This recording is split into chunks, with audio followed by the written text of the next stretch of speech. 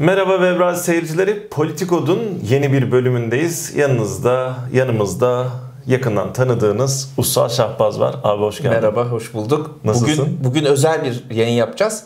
Ee, gelişen bir konu. O yüzden Aynen heyecanlıyım. öyle. Yani biz bu yayını yaparken ya da biz bunu hazırlarken konular değiştiyse az buçuk hani gidişat aynı ama e, affola diyelim. E, Evet. biz uzun zamandır yapay zekayı bir konuşalım istiyorduk. Çünkü yapay zekanın politika yapıcılar tarafında da önemli bir noktası olduğu kadar aslında OpenAI normalde e, kar amacı gütmeyen bir kuruluştan kar amacı güden bir alt birime de dönüştü.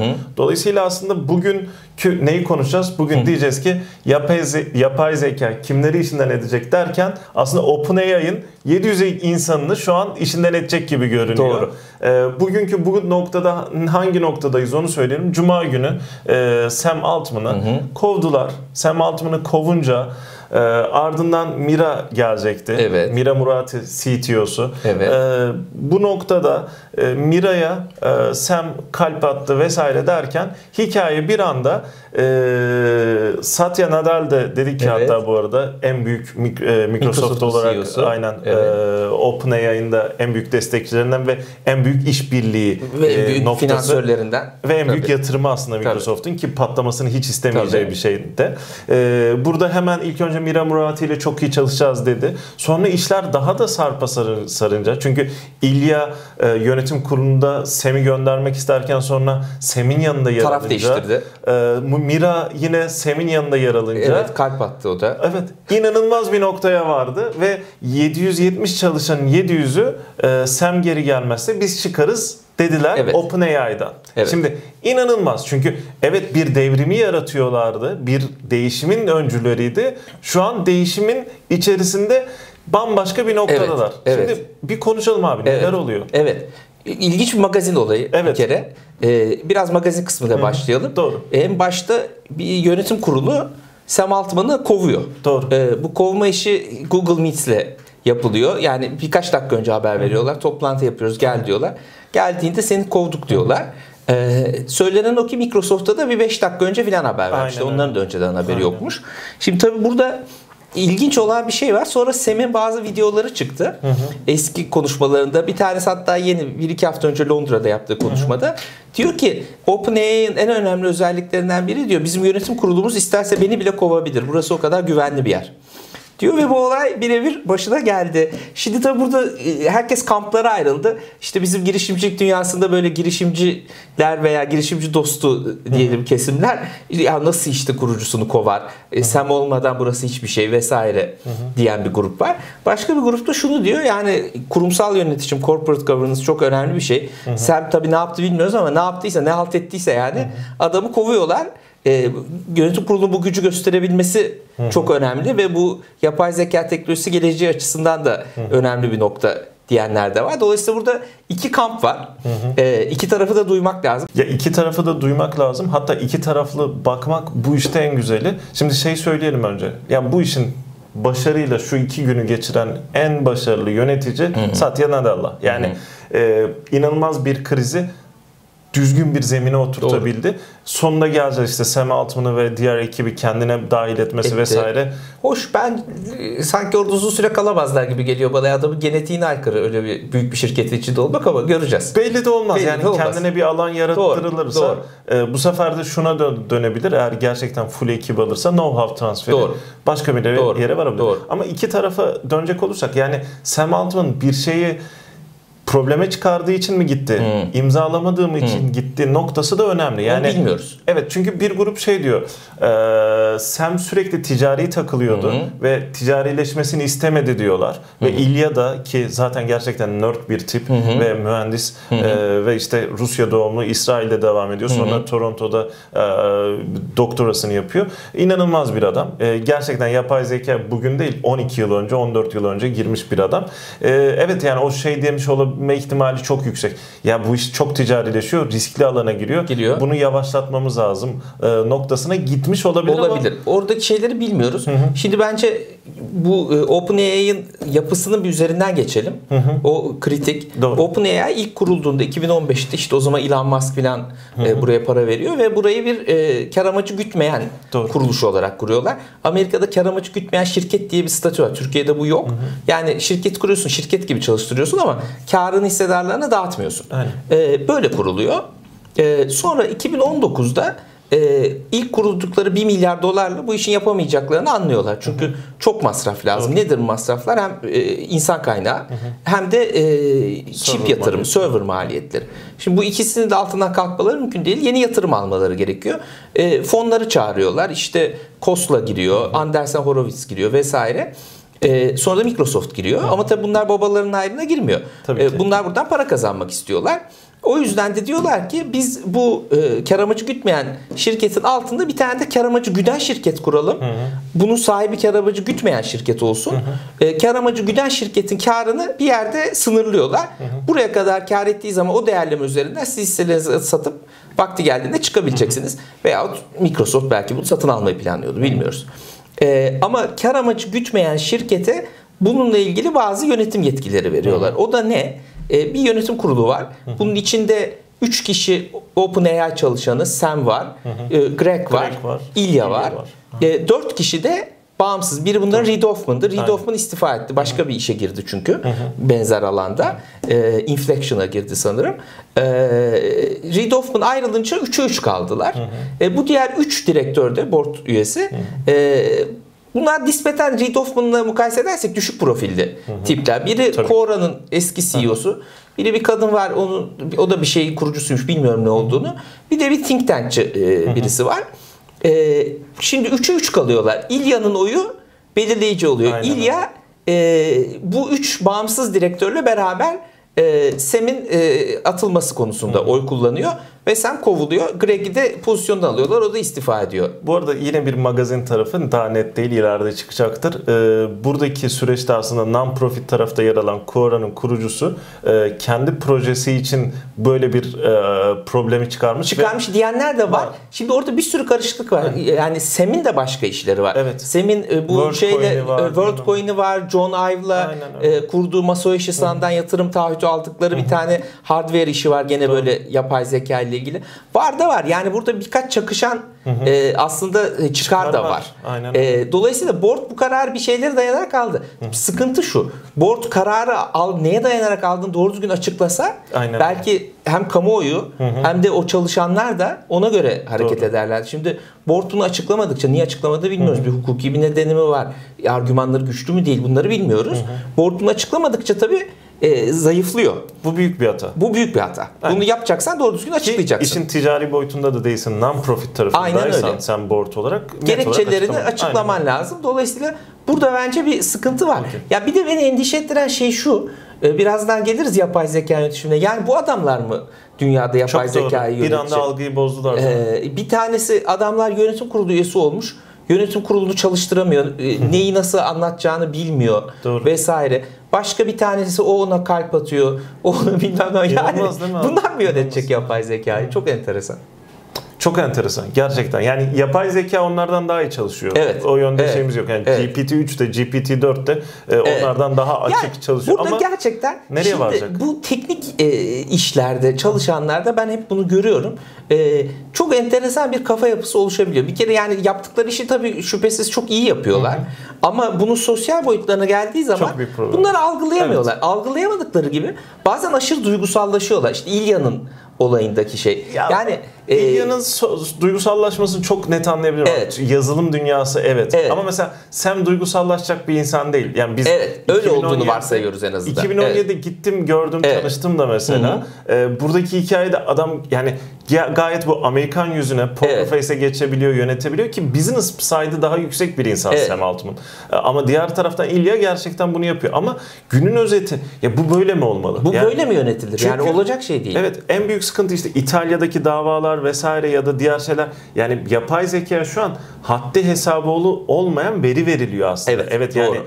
GPT-3, GPT-4 bize bir dönüş veriyor da daha fazlasını da biz ona alıyor, veriyoruz. alıyor. Onun Ee, karşılığında dönüyor. Bizim verimizden ne öğrenirse onu anlatıyor. Aynen. Ki Apple bunu yasakladı. Tabii, Şirket doğru. içinde veri vermek Doğru. yasak. Ee, ki Amerika üzerine söylüyorum. Çin olayına zaten Tabii, girmeyeceğim e, tabii. bu, bu noktada.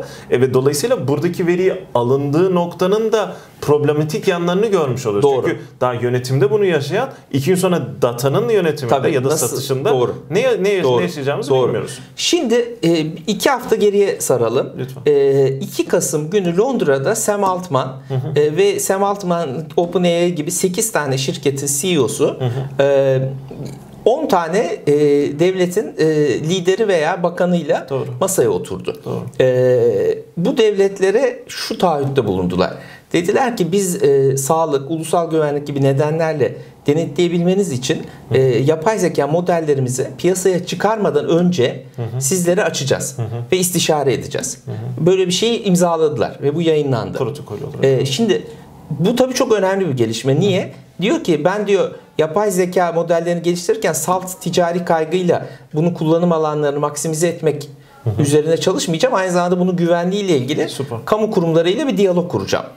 E, o devletler de dediler ki e, biz de bu arada bu işi bilmiyoruz. E, İngiltere bir tane, Amerika'da bir tane, iki ayrı yapay zeka güvenliği enstitüsü kurdular. Bunu da orada açıkladılar. Biz de bu konuda kendi içimizde kapasite oluşturacağız. Personel yetiştireceğiz. işte vakalara bakacağız. Diyalog kuracağız vesaire. Biz de bu işi öğreneceğiz dediler. Şimdi bu çok önemli bir zirveydi. Bundan iki hafta sonra e, OpenAI'de kıyamet koptu. Kıyametin kopuş nedenini bilmiyoruz ama görünen o ki e, OpenAI daha ticari tarafa mı gidecek yoksa daha e, işte böyle Regülatif tarafta mı re- daha güvenli, sakin tarafta mı kalacak? Bununla ilgili bir gerilim oldu. Burada yönetim kurulu sakinliği tercih etti. Sam Altman daha ticarileşmeyi tercih etti diye varsayıyoruz. Bunlar henüz açıklanmadı ama aktörlerin tavırları öyle görünüyor. Eğer Ama- böyleyse, eğer böyleyse ve şimdi Microsoft eliyle Sam Altman gölge bir şekilde bile olsa tekrar bu işin başına getirilirse e, bu tabii yapay zekanın gidişat açısından daha ticarileşmeye yönelik gideceğini gösterecek. Çok haklısın. E, ve burada hala devletlerin bu konuyla ilgili yapmak istedikleri çok şey var. Doğru, yani doğru. herkes bir şeyler, bir takım kurallar koymak istiyor. Mesela Avrupa Birliği bir yapay zeka kanunu taslağı hazırladı. Geçen hafta yine o taslak e, patladı. Aha, ondan- İlerletemiyorlar tabii. Çok iyi ilerliyordu. Ee, Avrupa'daki iki tane yeni yapay zeka şirketi, bir tanesi Fransız Mistral, bir de Alman bir şirket. Evet. Bunlar kendi ülkeleri vasıtasıyla lobi yapıyorlar ve diyorlar ki biz bunu çok kısıtlayıcı buluyoruz. Eğer böyle bir kanun çıkarırsanız Bizi ChatGPT'nin rakipleri Avrupa'dan çıkmaz. Okey. Ve kanunu şimdi Fransa ile Almanya blokladı. Şimdi bu çok ilginç. Doğru. Ee, çünkü Avrupa Birliği'nin koyduğu kuralları tabii dünyaya da bir etkisi oluyor. Tabii ki. Ee, ama bir yandan da tam bunlar olurken Amerika'da e, ha Amerika'da da şöyle bir şey çıktı. Biden bir e, genelge yayınladı. Dedi ki ben şu şu şu konularda yapay zeka modellerini denetlemek istiyorum ama orada biraz hukuki sıkıntılar var. O, onun e, dayandığı bir kanun var. Kanun soğuk savaş sırasında çıkarılmış. E, işte belli durumlarda özel sektör üzerinde şöyle şöyle yetkileri vardı devletin diye ama o kanuna ne kadar uyumlu değil bence yargıya taşınacak göreceğiz. E, gene burada Amerika bence yani geriden geliyor. Daha önce bu konuyu tartışmıştık. Evet. Ee, şimdi OpenAI'daki bu gerilim eğer daha ticari yöne gitmesi şeklinde şirketin e, sonuçlanırsa e, yine e, devletlerin buradaki tavrıyla Tabii. özel sektör tavrı arasında bir kopukluk oluşacak. Ama şunu da söyleyeyim yani sosyal medyada olan işte bundan 15 yıl önce sosyal medya gelişirken böyle bir e, açıkta boş hiçbir müdahale olmadan gelişmesi gibi bir süreç Olmaz. bence artık yapay zekada olmayacak. Yüzde yüz. Bunu devletler öğrendi. Yani bu Aynen. iş böyle olmaz. Biz bu işe baştan şey yapalım filan. Doğru. Ama ya ilginç olan şey şu. Bak 700 kişi tamam mı? 700 770'in 700'ü. 770'in 700'ü bu işin geleceğini belirleyebiliyor. Şimdi dünyadaki hiçbir devletin elinde o 700 kişi yok. Yok. Yok. Olamayacaktı. Olamayacaklar. Bu adamlar diyor ki kardeşim sen işte e, CEO'yu görevden mi aldın? Ben de gidiyorum diyor.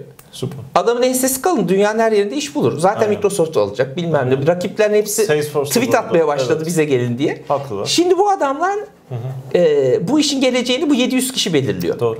E, dolayısıyla yani devletlerin burada etkisi çok sınırlı. Bunu da unutmayalım. Yüzde yüz. Ya bu devletler üstü bir e, Evet, nokta. evet. Hatta biz e, bir iki üç ay önce scouting yaparken böyle şey de yaptık. E, OpenAI'daki Türk girişim, girişim Ha. geliştirmecilere falan da bakmıştık. Yani o 700'ün 4'ü ya da 5'i de Türk bu arada. Ha, Ona çok sevindik. Ama Güzel. tabii ki e, Berkeley, San Francisco'daki Tabii diğer okullarda okumuşlar. e, okuyan çocuklar. E, çok sevindirici. E, buradaki o 700 kişi içerisinde iki gün sonra başka bir noktaya taşıyacak insanlar arasında da e, Türklerin bulunması sevindirici. Şimdi geri dönecek olursak bu işi de bir özetlemeye doğru da geçmek Evet. e, noktasında. Şimdi e, yönetim kuruluyla e, bir problemin bu şekilde sonuçlanması anormal bir durum. Çünkü e, burası bir kar amacı güden bir şirket bile değildi. Non-profit organization'sa eğer yani NGO değil aslında ama yine de Evet. kar amacı gütmeyen Gütmeyen bir şirket. şirketse e, bu şeyi açıklıkla belirtmesi lazımdı. Çünkü senin de az önce belirttiğin üzere eğer ticarileşmeye gidiyorsa bu şirketin yönetim kurulu demeliydi ki biz ticarileşmeyi istemiyoruz. O yüzden Evet, Sem şu kadar ticarileşeceğiz, bu kadar ticarileşeceğiz. Aynen. Vizyonlarımız uyuşmuyor. Bunu, diyebilir da demedi. Bunu da demedi. Demedi. E, Sam Altman gitti Mira Murati dediler ki o bir gün önceden biliyormuş. O da bu Evet. arada magazin haber hani bilmiyoruz Evet. gerçekten. Mira Murati de dedi ki ben de yokum dedi. Ki İlya da döndü. Ben Döndü. böyleyse bir şey yok. Demek ki içeride e, yönetim kurulu dediğimiz hikayede çok iyi bir yönetim yok. Evet, Aynen öyle. yönetememişler. Yönetememişler. E, buradaki hikayenin altından kim nasıl çıkacak bilmiyorum. Bir gün umarım çıkar. Çünkü diğer taraftan e, bu işin en büyük paydası ve ticari tarafı Microsoft'a Evet. zarar verecek bir noktaya varıyor ki Microsoft buna izin vermeyecektir. Vermedi. Dediğim gibi vermedi de üstün bir başarı örneği. Satya Nadal e, Hepsini aldı. hepsini yani biz OpenAI'da devam ediyoruz dedi. Bunları da alıyoruz dedi. Aynen öyle. Yani inanılmaz. Yani şöyle yatırımcısına güven verdi. Bu Doğru. çok önemli bir Doğru. şeydi. Çünkü Doğru. en büyük yatırımları da. OpenAI'di. Çünkü şirketin her bir ürününe dahil ettiler. Hatta Elon Musk da e, Sam Altman'ı aldıktan sonra Satya Nadal'a şunu diyor. Artık Google Meet kullanmayacaklar. Tebrikler gibi bir şey diyor. Doğru. Çünkü Doğru. inanılmaz. Yani bir tarafta Microsoft'la çalışırken diğer taraftan sürekli Google Meet linki atıyorlardı. Bu arada şeyi de söyleyelim. E, Mesela Anthropic e, şeyin rakibi OpenAI. Onun da iki büyük yatırımcısı Google ve Amazon. Evet. Yani bu büyük teknoloji şirketleri yeni çıkan e, bu e, üretici yapay zeka startuplarının belli başlıkların hepsinin içinde var. Varlar. Var. Çünkü bu arada OpenAI ile Microsoft o kadar iç içe Evet. geçince e, ikinciye Mecbur gittiler. kaldılar. Amazon gitti ardından Evet. da Google, Google gitti. Ki Google yıllar önce DeepMind'la da Zaten. inanılmaz Tabii, yatırımlar doğru. yapmıştı ama bu tarafta ne yazık ki herhalde hızı yakalayamadı. Evet. Şunu da söyleyelim.